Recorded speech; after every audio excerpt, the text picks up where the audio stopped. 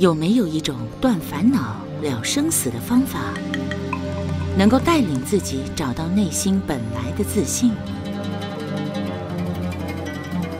心道法师说，禅修闭关功德等同水陆法会，发心布施护持僧众精进办道，布施功德将不可思议。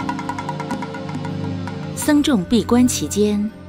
每逢周六日，欢迎十方居士大德来山参加护观静心活动，同沾法益。灵鹫山精进禅观，山海天人禅悦法喜，聆听极静，遇见新自己，敬邀大众随喜护持。